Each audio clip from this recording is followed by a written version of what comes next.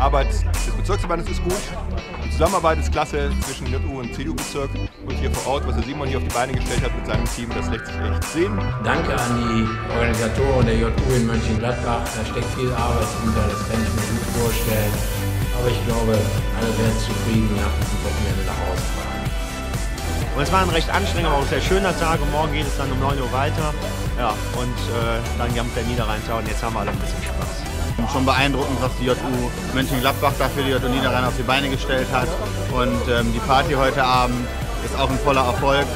Leckeres Essen, gutes Bier und ähm, ich wünsche allen noch einen schönen Abend.